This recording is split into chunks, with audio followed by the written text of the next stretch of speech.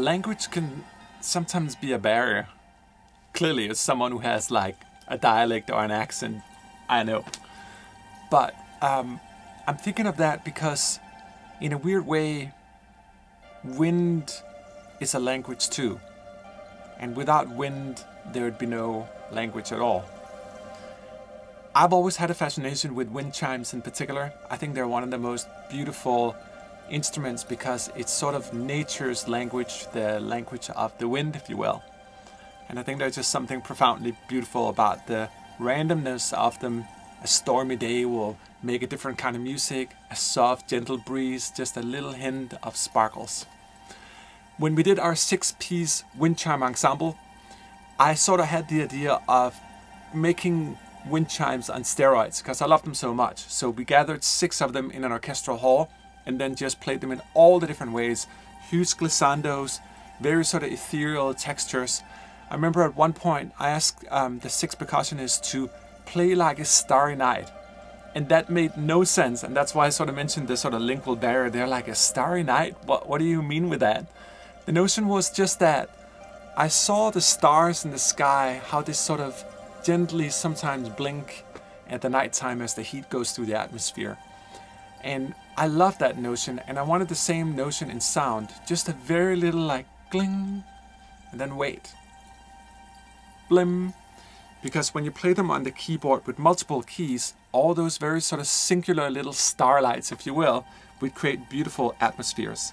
That's one out of many of the parts inside of the library here, and it's truly one of my favorite ensemble libraries of all time.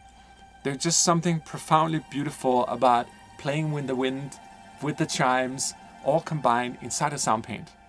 Now, before we get started and before Nicolette Semrad comes in and really shows you what else you can do with wind chimes, let me just show you the different parts here.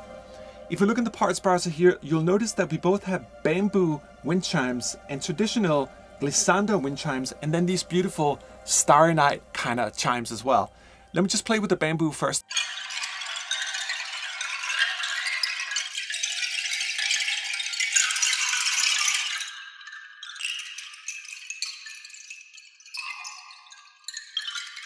There's something so beautiful about orchestral halls. Like if I take the closed microphone here, this is still in the hall, but it's a little more sort of near field. It's beautiful, but down here with the Decca, it's just...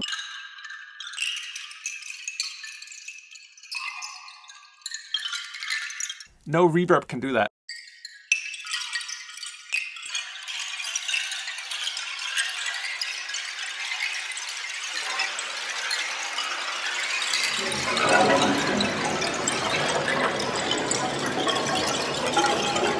It's like an ocean of wind chimes, right?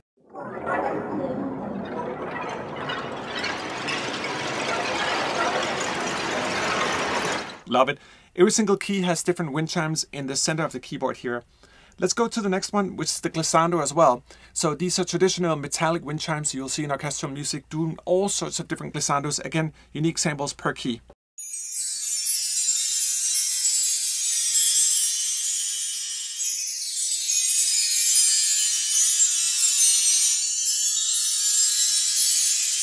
And you notice that there's both up and down motions in them.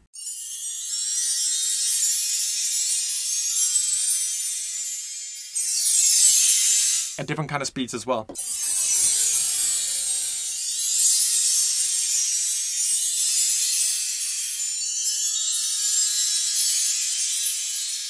Let me just try, just for the fun of it, to take our time module here and slow this like way, way down. I'm kind of curious what that sounds like.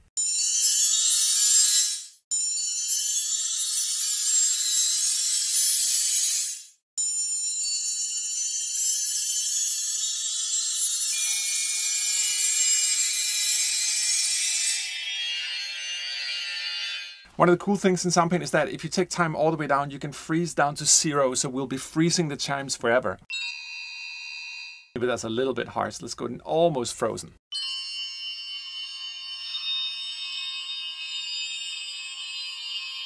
So even though this might take a few samples in real time, this might take like a minute or so when it's like this frozen state.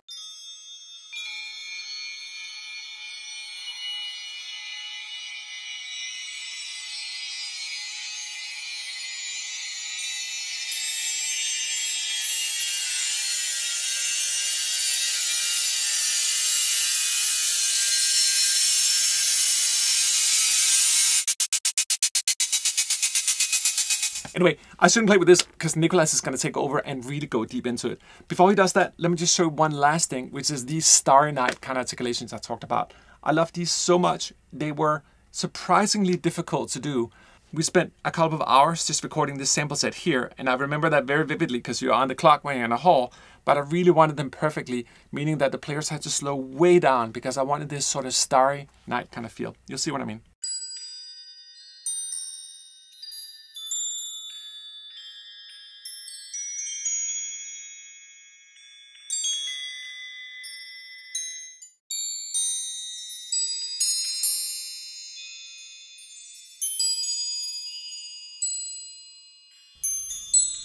Now, keep in mind that it's a six-piece ensemble, so for that reason, it was really like, no, no, guys, you gotta slow down, because like one is just standing there like, it should only play every like 20 seconds, like, gling, yeah.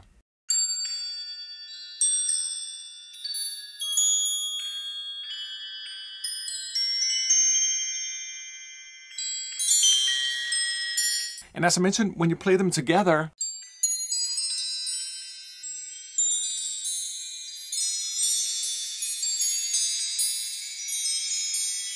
you start getting these sort of beautiful ethereal textures. Let me just take one of them here. Oh, I love this one here. It's that sort of clear ping in the beginning. Let me take a one note stretch on that. Let's see what happens.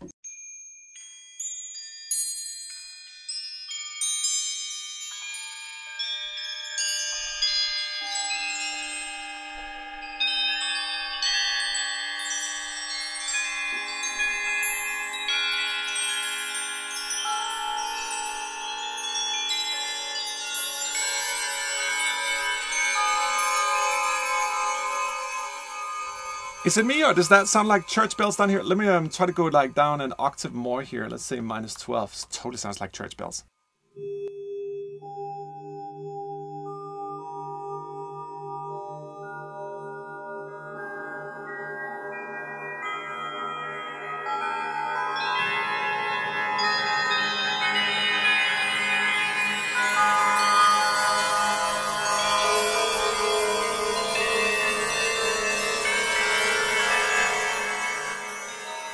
Welcome to Wind Chimes. Nick Semrad is to take over and show you some crazy magic on all these ethereal, beautiful wind chimes. They can be a lot more than what I just demonstrated. So, thanks for watching.